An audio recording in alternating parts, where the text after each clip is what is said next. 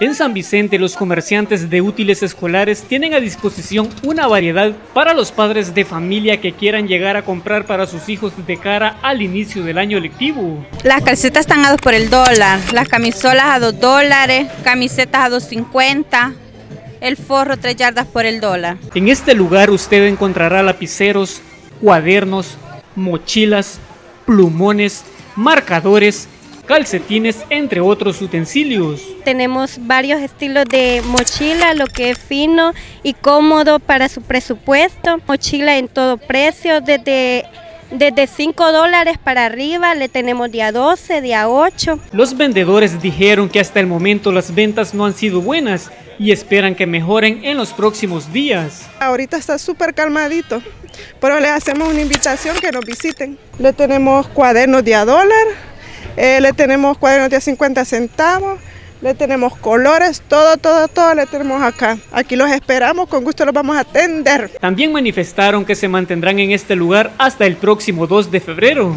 Este es un informe especial de Canal 31 en San Vicente. Para Telenoticia 21, Juan Martínez.